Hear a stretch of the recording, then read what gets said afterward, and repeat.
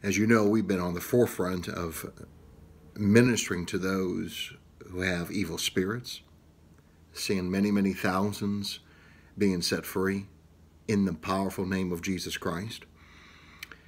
We are also seeing many, many being liberated from soul invaders, those foreign soul parts that have invaded individuals as a result of illegal spiritual soul ties and unhealthy, unholy soul bonds.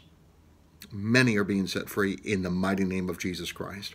We're also in the forefront of something very unusual, extraordinary, and that is, and we're seeing this everywhere we travel throughout the world, we are seeing individuals entering into the third heaven, in the glorious heavenly home of the Godhead, of the Father, of the Son, of the Holy Spirit. Just in recent weeks, and we're seeing this throughout the world and every continent that we travel travel to, we're seeing individuals being supernaturally being caught up into the third heaven. And I'm not speaking about having a heavenly vision or a a heavenly experience that occurs here on earth. I'm speaking of what Paul, the Apostle Paul, encountered in 2 Corinthians 12, where he was caught up to the third heaven. And we're seeing individuals coming face to face with the Holy Trinity, the Father, the Son, and the Holy Spirit. This has been a spectacular, thrilling aspect of our ministry. And for the next few videos that we'll be releasing, I'm going to be doing a series of teachings on this subject of third heaven realities. Uh, I made a list of some of the things, some of the incredible supernatural miracles people are experiencing as they're encountering the, the Father, the Son, and the Holy Spirit. Not only are people being caught up to the third heaven, but they're also entering into the highest of heavens, which is the very throne room of God. But they're experiencing much more than that. And I made a list here.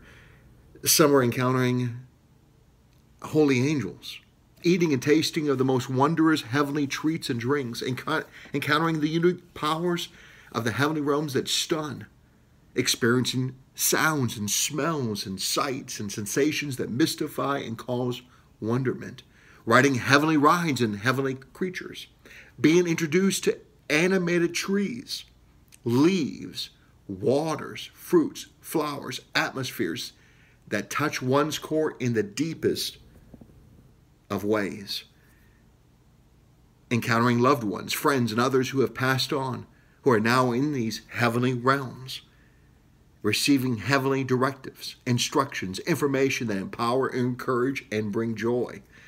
Receiving heavenly gifts, obtaining new powers, new capabilities that will empower one's service to God here on earth, encountering biblical saints, and first and foremost, above all else, as individuals are being caught up to the third heaven, they're encountering the deepest of loves one can experience.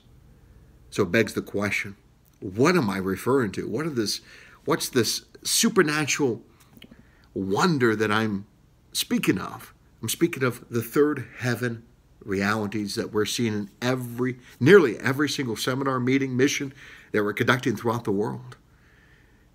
Uh, for example, uh, in 2019, this past year, we have seen more people being caught up to the third heaven than in the previous 30 plus years of ministry, gospel ministry. And I'm believing many more in 2020 will experience the third heaven, encountering the Father, the Son, and the Holy Spirit, which I believe is the preeminent of all miracles.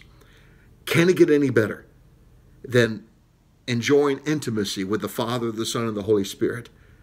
As some of you know, I've raised the dead. I've performed incredible miracles of healing by the hand of God, casting out of evil spirits by the power of Jesus Christ other extraordinary miracles, but nothing compares to guiding, gently guiding souls into the third heaven, where they get to meet the Father, the Son, and the Holy Spirit. And in many cases, individuals are actually entering into the very throne room of God. Can it get any better than that? I don't think so.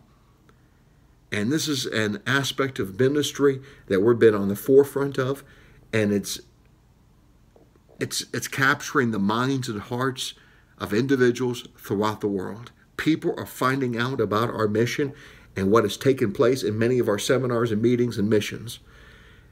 And I'd like to share a lot more about this third heaven.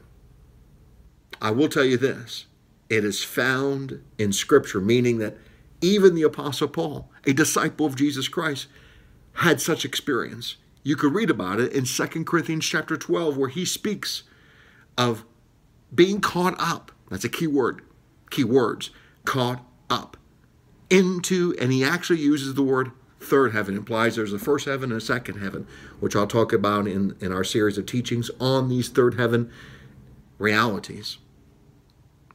So the scripture is very clear. There is a third heaven, and disciples have the poss- uh, have the opportunity, I should say, can can actually have the opportunity to enter into this realm and meet God.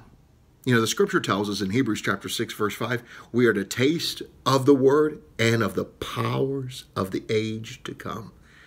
And it's our hope and it's our prayer at J. Bartlett Missions to be in the forefront of not only preaching the gospel of Jesus Christ, but guiding also, guiding individuals into the third heaven